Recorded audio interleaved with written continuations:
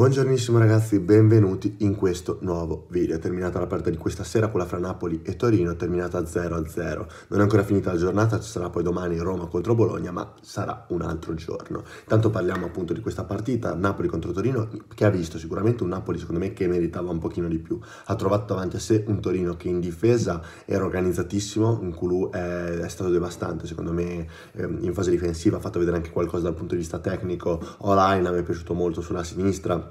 insomma anche Moretti per dire che ero un po' scettico su, su, Moretti invece ha fatto una buona prestazione così come Izzo e Sirigu oltretutto eh, ha parato veramente tutto quello che c'era da, da, parare quello che si poteva parare. Napoli che è stata anche un po' sfortunata ha preso anche quel palo con Insigne però è anche vero che se tu crei 20 occasioni da gol è impossibile che tu non riesca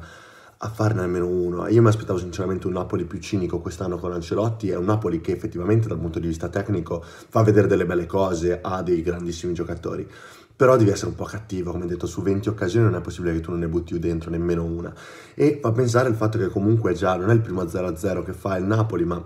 ne ha fatti se non sbaglio tre nelle ultime quattro partite e questo sicuramente vuol dire. Eh, merito del Torino che si è chiuso bene, demeriti del Napoli, questo poi lo lascerò anche decidere a voi, secondo me come detto entrambe le cose combaciano, nel senso che il Torino ha difeso molto molto bene, il Napoli invece ha attaccato estremamente male, anche dei contropiedi, a volte si capitava, c'era addirittura un contropiede 3 contro 1 a favore del Napoli e non, non, non, l'hanno sfruttato. E questo sicuramente è un segnale molto molto negativo. Segnale negativo soprattutto il fatto del campionato, la Juventus che adesso vola a più 13 e sembra veramente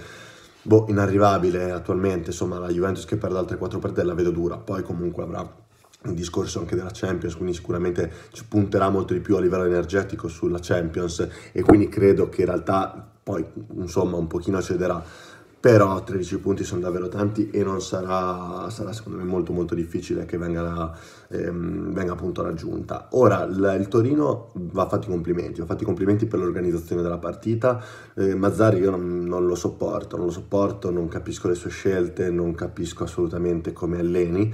però c'è da dire che oggi ha preparato la partita in maniera giusta, una squadra che si difendeva molto, si difendeva molto bene dietro e poi cercava di ripartire con la velocità di Ansaldi, con la velocità di, eh, dei Silvestri sulla fascia, Olaina, eh, Baselli quando è entrato, Parigini quando è entrato e Belotti. Quindi eh, complimenti al Torino, come detto non mi sta sul cazzo Mazzari, mi gira anche un po' le balle fargli dei complimenti, però quando è doveroso è doveroso. Detto questo ragazzi il video è finito, io vi invito a mettere mi piace se volete altri video post partita, vi invito a scrivermi nei commenti la vostra riguardo questa partita appena terminata e vi invito infine ad iscrivervi al canale per rimanere sempre aggiornati su questi tipi di video, attualità calcistica, fantacalcio e qualsiasi cosa accada nel mondo del calcio. Detto questo vi ringrazio per la visione e noi ci vediamo prestissimo in un nuovo video.